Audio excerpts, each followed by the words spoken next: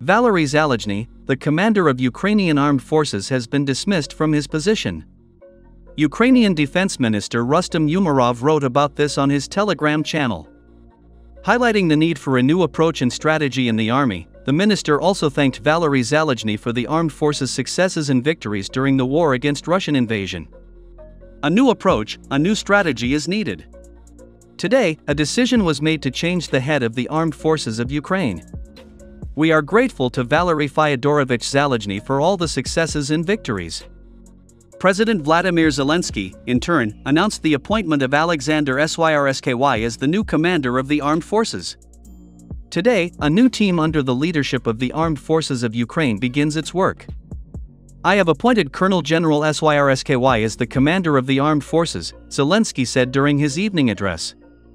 Until this appointment, Alexander Syrsky was the commander of the ground troops.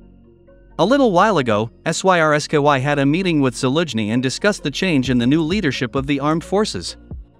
Zelensky described the meeting as important.